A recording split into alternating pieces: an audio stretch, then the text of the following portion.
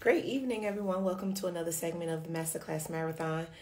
Always excited to be here in the building on Instagram Live, sharing information with all of you. So let's see. Okay. I was just looking for my graphic to grab for you guys to put on the screen. So, welcome, welcome, welcome. All right. So I'm Coach Tomeka James. Uh, I am a um, former cosmetologist. Currently, I'm a life and business coach. I want to talk about some of the shifts that I've had in my life and in my business, and how I had to make new decisions about whatever was going to happen next. So, some of you who may be listening tonight, you may have um, been thinking about what else can I do um, how do I proceed moving forward, all of the all of the things that we actually start looking at, especially at the top of the year.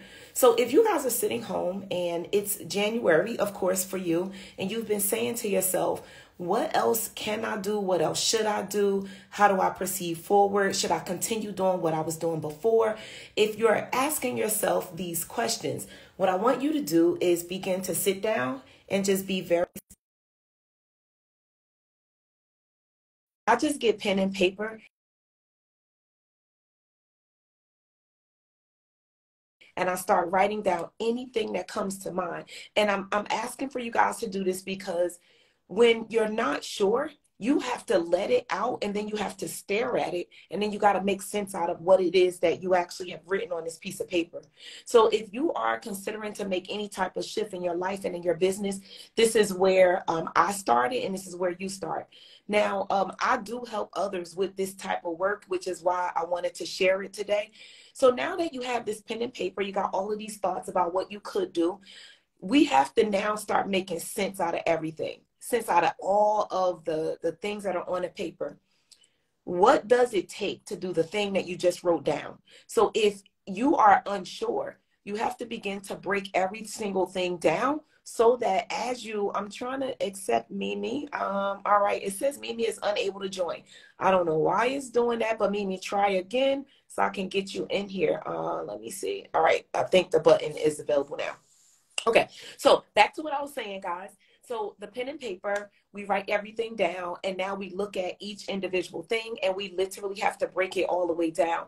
Of what is required? What kind of money does it take to do the thing? When I say what kind of money does it take, guys, even when we think um, it won't cost that much, there's always going to be something attached to doing something new. Either you will need to um, buy new equipment, you need to learn something, you need to uh, maybe get some new software, all sorts of things have to come into play for you to do the new thing. Um, even if you're adding new services to your menu, what is it that it takes for you to be able to do the next thing? Oh man. Okay, let me see. Maybe it's gonna let Mimi come in now. All right. So when I think back to the days that I was um, oh man, guys, it's crazy. I'm trying to speak and I'm trying to let Mimi in. Uh, it's a lot happening right now, y'all. I don't even know. My alarm is going off and I hope it doesn't come back, back again. Goodness gracious. Guys, this, this is the stuff that happens on live and we just have to accept it and keep going because what else are we going to do? All right. You lost video and audio. Okay. You want to try again? Oh my goodness. Try, try, try again. We never give up. Okay, guys. I was saying to figure out what does it cost for you to do the thing. Thank you so much, Stacy, because I don't know. But let me tell y'all, real talk. Um, I this weekend, y'all, I was having my best life. Okay. One of my friends, um, it's her birthday this weekend, and we've been we've been really, really partying. Can I tell you guys that we didn't come in, in until okay come on into to another device um i'm all the way uh 46 and we were acting like we were teenagers this whole weekend y'all and the thing that i really want to share with you is that you can have your best life if you just move forward so we um, have been hanging out for the last couple of days. My friend lives about close to an hour away from me. I live in the Miami area, so does she, but we live about an hour apart. And uh, basically, all we did was hang out in the the heart of Miami this weekend, and we had our best life. And I want to share with you that we had our best life because the way that we set our life up. Um, y'all see, I just washed my hair, so that's why I'm wet right now. Um, but we were able to just connect on Friday. And in my past life, I would have had to not be able to go and hang out because I probably would have been still at work on Friday. And then Saturday morning, I would have gotten up and I would have gone into my salon to service clients. And then I would have not been able to get off until later. And then I would be tired, which was usually how it was because I stood up and I worked. And I did a lot of things throughout my life. I had a really good life. But where I'm at right now and how I move and how things are, it's just a totally different life. And we were able to just hang out the whole weekend. So, y'all, we didn't get back in until 7 a.m. this morning. I don't know what in the world. I told y'all we were acting like we were teenagers. I mean, for real. We were grown teenagers, though. You know what I mean? Like real grown adults having adult fun. But, you know, so anyway, um, when you decide that there's something, another type of life that you want to live, you can totally have it. So, as a life and business coach, one day I woke up and um, I just realized that I just didn't want to do what I was doing before. I knew that there was a different type of life that I wanted to have, and I started to seek all of the information that I needed in order to move forward. So, I was telling you a little while ago about if you're going to make a shift, you have to write everything out, see what's required. So, for me, um, back uh, was on about three years ago, I would say, I knew that there was something new that I was set to be doing, and I started seeking all of the information. So I went to the Tony Robbins conference, and it was all about personal development. And I knew that that was the direction I had to go in first because I really needed to really uh, decide on if that was like something I wanted to do. I wanted to see more of how he did things because Tony Robbins worked with uh, like thousands of works with thousands of people at once. So the one thing that I realized was like I went to his conference and they kept saying that there's 12,000 people in the building. And I was trying to understand how in the world is this man doing this work from a stage and it's 12,000 people in here and we're all like receiving we're all um like learning more about ourselves and making these choices about what we're going to do next with ourselves. And that was the moment in time when I went there for a reason but that was the moment in time when I really understood okay uh, I see what he's doing I see a little bit of how he's doing it this is for real what I want to do.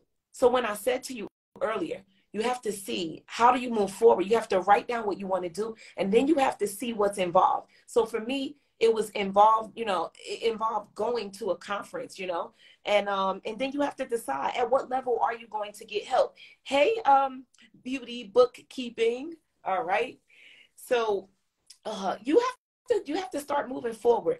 And most things that you're going to do next are not going to be free. There will be a few things which are that, you know, you can think, but outside of that, there's going to be a cost somewhere. So I want you to figure out what you're going to do next, what is required. Um, also, how much time does it take to get into the next thing that you're going to do if you're having a shift in your life?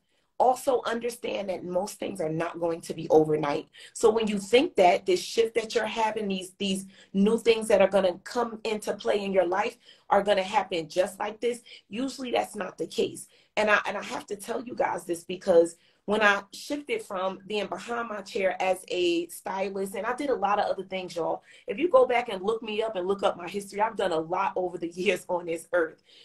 But I never really um I never really just did one thing. I'm going to tell you guys. So when we hear this, do one thing, I understand it to some degree, and it does make sense because you can't be all over the place for real, for real, but all at the same time. Once you do something, you master it, you get that thing together, you get it up, running, and all of that, then you can add other things on. So for me, um, you know, throughout my entire life and career, I started writing books uh, from years and years ago. Once I understood how to do that, I duplicated the process and I wrote several books. And I got to the point where um, people were asking and needing information about it, and I had done it several times. So I made a course on how to write a book. And even when I made the course, I I shared it with the world. I didn't go crazy with it because I actually didn't want to be known as the person who helps people with um, writing books. That was not a thing, but I did write the course because I helped people with it. And as I was asked those questions over and over, I knew that it was something I could do. So some of the things that we do, they may not be the main thing. It may be that we have time and we have the energy, we have the means to do certain things, so we do them. So now with that course that I had written, um, I basically have it and I sell it. And basically, another thing that happens with it is that it's a product that I have available. So on occasion, I may sign someone onto one of my coaching programs and then I can gift it to a person or I can put it on sale, or I can add it on to something else and say, hey, when you get this, you get this.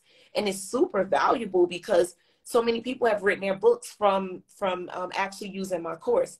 So guys, um, that's a, a you know some of what I've done, and I hope that the things that I share that you guys are not just listening for me saying you know, um, join me on the journey with this, that, and the other. I say these things because I know that someone needs to be encouraged to understand that there's so much that you can do. There's so many things that um, you can do, but a lot of people think, oh, I just only have to do this one thing. I only have to do that. No, you don't. So master something and then start adding a couple of things on. And occasionally, like I said, I'll put some things to the side after I've gotten those things together. Now, um, what else can I share with you when um, I was having a shift? I want to tell you about this pivotal moment when I knew that there was a shift. So I told you guys I went to the Tony Robbins conference and I was there for, uh, it was a four day conference, but I had to do a speaking engagement in Texas on the fourth day. So I said, instead of me not going to Tony Robbins conference, I'm going to split my time up and I'm going to go for three days because I don't want to miss it. I was like, now is the time that I have to go to this conference. I can't wait to the next one. I need to go to this one. So what I did was I went for the three days. And then when I got to the um the third day, which was all right, I'm trying to get me me. I don't know what the what. All right. When I got to the third day, guys, I went back home that night and I was taking a shower. And I just started bawling and crying, guys. And I was trying to understand where is this coming from? And I know I've been at this conference and it's been all about personal development. I have been writing things down. I have been answering answering a bunch of questions. I have been thinking about throughout this college all of the um, different aspects of my, my life we worked on throughout those days. And when I was answering these questions and taking a deep look at where I was and what I wanted to do next, it was just the time. And when you put yourself in that space, you are saying that this is what I have to focus on me. And, and, and if you're listening, take this about, you know, to be about you. You have to stop and you got to put yourself in a space where you're going to get those questions to be asked to you. And then you actually have to answer the questions. And then you got to do the work. And because I was at that conference and it was the time where I was doing the work on me, everything came down and I just started crying. And when I cried, it was such a, a heavy, hard cry. And it was nothing going wrong in my life. That's the crazy thing. It was like nothing was bad. It was just that I was working on myself. And when I had that hard cry, I knew at that moment in time that everything that I experienced, it was the moment in time when I had to start moving forward with all the things that I was working on. There was no waiting. There was no, um, oh, put it off oh, you can't do this. It, none of that. It couldn't be the case. What it had to be was a now, a now, a now situation. So um, the next day, um, after I, um, so I flew out for the other speaking engagement that I that I had to do in Texas. And, and here's I want to share something with y'all. When when you, have these shifts that are going on in your life, you got to be very careful of um, who you communicate with at that time. Because when you're feeling this thing in your body and you understand that change has to happen, you can't say that to everyone. It's, it's like you got to safeguard uh, what the change is. You got to safeguard it. So when I got to Texas, I remember walking in and there was another person, another beauty professional, and she and I just kind of like we are we knew each other well, and then we we kind of like we locked eyes, and then we were like, "Girl, what's going on?" And we both were in this space of shifting, and it was like a lot was changing in both of our lives. And this conference that we went to, right, that we were doing, let me tell y'all something. Everybody has to understand every single thing that ever happens, and it happens a certain way, it happens that way for a reason. So the conference that we were doing, there weren't a lot of people there. It was not a lot going on. So we had our booths and um, there were tables and we were able to sit and just talk because it was not a lot for us to do because it was a few people we had sessions that were like what an hour and a half each and we just got there we, we were just sitting there and we started talking we realized that it was a certain date and it was the date was 11 11 it was november 11th so of whatever year was those numbers were significant to some sort of change. And we realized that was the date. And it was the time that we had to do all the things that we were thinking and talking about. And I didn't share this stuff with nobody else but her. And we had such a great conversation. And I just started moving forward from that day, y'all. When I tell y'all, everything happens for a reason, everything. So there's not a lot more I want to tell you guys in this story because um, I was only meant to be here for a few minutes because I'm still living my best life. But I hope that you just heard that little short story that I told you, that I got to the point where I knew that something had to change. I made a conscious decision to go to Tony Robbins conference. I went there, I got exactly what I needed. And another thing that I was doing when I was there, not only receiving from me, I was looking at how did he do what he did? So when I was writing in my notebook, the things that I was receiving that I was learning, I also had a certain section in my um, notebook, and it was, How does he do what he does? If you want to do anything that you want to do, you got to go to the people who are doing the thing and you need to see how they move. You need to go and get on the inside and you need to see how things are happening. Then you need to make an investment as well because everything is not just look at something like I've been seeing Tony Robbins for years, guys, but I never knew what he really did until I went on the inside of that conference. So if you're seeking information, you're looking to do something, you had better get close to and get on the inside of someone's something and get the real answers so that you'll know how to proceed forward. Because in my notebook, I had that section and I was writing down how he did everything like how the people greeted us, how they connected to us, um, how he had different speakers. And and see, I shared something before, and I and I'm doing the same thing. I've been doing this thing that I'm about to tell you about for, for years. But the things that you think you're supposed to do by yourself, you're not on this earth alone. And and, and my UBG program is all about helping entrepreneurs, right? But I knew and I've known this forever that what they need, I don't have everything that they need. So I made great connections with others who have that information and bring them on board, and we all win. We all win together because they have their own space. They do what they need to do. They're making their connections and they're supporting the whole thing and all of the people. And it doesn't have to just be me. So when I was looking at Tony Robbins' conference, I thought, I thought that it was mostly going to be him speaking. But guess what? I go in and he's not even there for a while. He has all of these other people that are doing different types of work for the audience, right? So they all have these different segments of um, time when they speak and they talk about different things and they help us in different spaces. Then he comes on and then he's gone.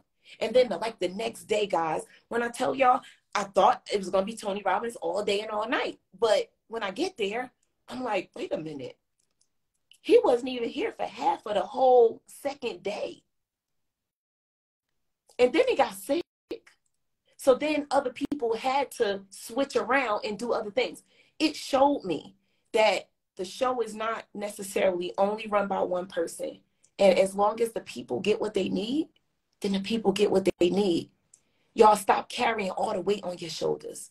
Stop carrying everything yourself, thinking that what you're you're doing, what you're building has to only be you. It's not true. It's not true.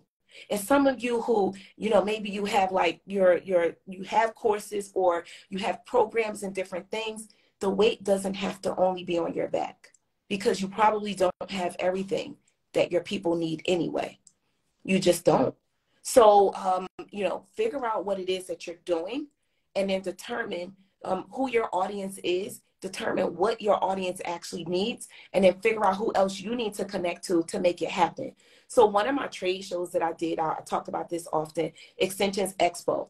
We, oh, we, it was me. I always say we like it was somebody else, it was me. But the show basically went on for two days every single year for 13 years in a row. And the only way that I felt like I could help the masses of the beauty professionals with all of the hair extension techniques and learning about business and taking themselves to the next level was to bring other people on board. So one day, same thing I told y'all to do when I started this live, I sat down and I just started thinking about what else can I do for this industry? How else can I actually really move forward and do some new things? And I realized I decided that I wanted to be the household name for hair extensions. I made that choice and then I became that. And because I was that, I said, it's still not all on my back. So let me see how I can support everyone. And I said, how do I do this? And I sat down and I created a name for a trade show. And then I called up my friends who had different types of information. Someone that taught cutting, someone that taught business, someone that taught color. Because I said, when these people do extensions, they still need all of the other things. So once again, the weight wasn't going to be just on my back. And I called them up and I said, would you guys like to join forces and come in? And I want to do this trade show. I will be doing this trade show. Would you like to be a part of it? And I don't even remember how many people that came in on board in initially, but I think it, I don't know, may have been like maybe eight or 10 people that were educators. And when they came on board, I gave them two segments and we made a show for two days. And everybody was able to win. And then eventually, like the next year, the show got bigger and bigger. And eventually, over the 13 years, this was like the, the tagline of the show was that they get the extension techniques under one roof. And there were over 50 classes a day that were offered. Over 50 a day. Okay. How do I pull off over 50 a day if it was just me? So think, think, think. Don't do it alone and uh, move forward. So I'm closing out for real. I do want to share with you guys uh, one of the programs that I do have available. I've been talking about this whole shift thing. Shift starts tomorrow again. Okay. Again, meaning that it's a new set of people starting tomorrow. If you want to get in and you want to take who you are develop you into the next you. You want to take a look at who you really are right now, and then you want to decide on what you're going to do next. What I want you to do is go into the link in my bio and click on shift. Join me for the next five weeks. And what will happen is these things that I've shared with you about my life and how I've shifted, I've done it so many times. I am able to help you to do the same thing. So, who am I as an individual? I am this person who I, I think a lot and I help others to think a lot. So, when you're sitting there and you're like, I'm not really sure how I'm going to do this, I help others to pull information out and decide on how they're going to expand on that thing. So, this is who I am. This is who I've always been. This is why I knew that I needed to do life and business coaching because I was this person. And when I was behind my chair, I helped so many people at no cost. And I got to the point where I realized who I really am. And when you all realize who you really are and you make a choice that you're going to share that with the world and you're going to really explode that part of you, that is when your whole life will change. So someone is watching this live and you've been trying to figure out how else do I really exist on this earth? What else should I be doing? I am your girl that can help you to figure that out because you have to be asked all of the right questions. You need to also be put in a position where you're going to stop and you're going to not be able to go left and right and run around without answering a question. And then I am the one who is going to help you to break down what does the stuff look like that you want to do? Because some of you have to not just do anything. You have to do the most important thing. And then you also need to look at what are these other things I've been considering? Do they make sense? Am I ready for that now? This is the truth of the matter. This is what I've what I've experienced with a lot of people. You want to do something and you think you should, but it's not your time. It's not the time for you to do that thing. But if you are not able to sit and look at what's going on in my life right now, what is it that I want to do next? And how do all of these things fit together right now? If you don't do that and you don't do, you're not doing that safely, you're gonna start doing something that's it's not time for. You also might be just um, I don't know, just wasting time, guys. But I hope you to not do that because um, some of the things that you guys are meant to do, it might be meant for you to do it next year. So we put things in perspective. We look at timelines and we really move forward with things.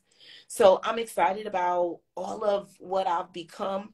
Um, and, and that word become. Some of you who are not sure about what you're supposed to do next, there may be a part of you that has to really work on becoming who you want to be. Nothing is overnight. Nothing is overnight.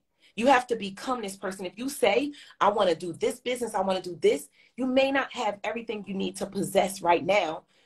It, it may not be present. But if you're sure that that's what you want, we have to determine what does it take to become that person? What else do you need? What else do you need to do? Who do you need to know? Sometimes it's not a thing that you need to just do. You need to know someone else. You need to lock arms with someone else. You need to get under someone. That might be the case because some of the people that I know, I mean, are amazing people. And the way that we coexist on this earth is just beautiful. So um, if you are ready, come on in the shift.